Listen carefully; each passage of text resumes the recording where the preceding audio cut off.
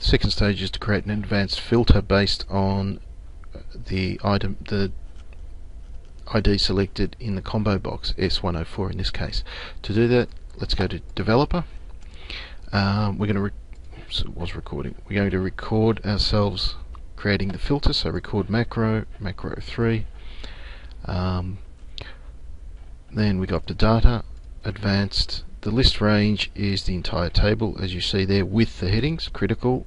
The criteria range are the headings once again, but this time one row down, so we highlight the S104 and the copy to another location is where I want my answer to appear and it's in these headings there. Press OK.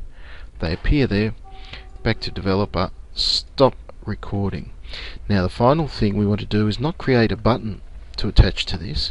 We actually want to find the macro that we created. So if you go up to, still in developer, go up to macros, select macro 3, edit, and you'll see it'll appear flashing here and the information that we're interested in is the black text range down to end sub. If I copy that,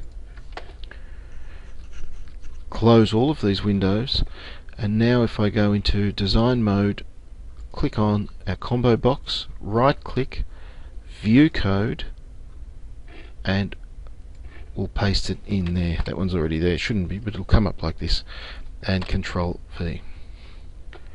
Now if I close everything again there, get out of design mode, what will occur now is that as soon as I select an item, it automatically runs the macro, which in turn runs the filter and finds it. So we get a seamless connection between the two.